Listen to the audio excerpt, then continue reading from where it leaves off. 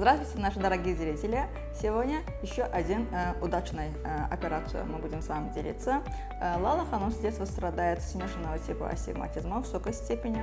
Э, вчера мы ее оперировали, и сегодня она видит на все 100%. Сейчас она поделится со своими впечатлениями. Здравствуйте, меня зовут Лала, мне 37 лет, я с детства страдаю от близорукости. После постоянных э, ну, э, казусов в жизни я все-таки решила, что э, сделать операцию на глаза. Решил, решила обратиться к Гюльшан Хамс.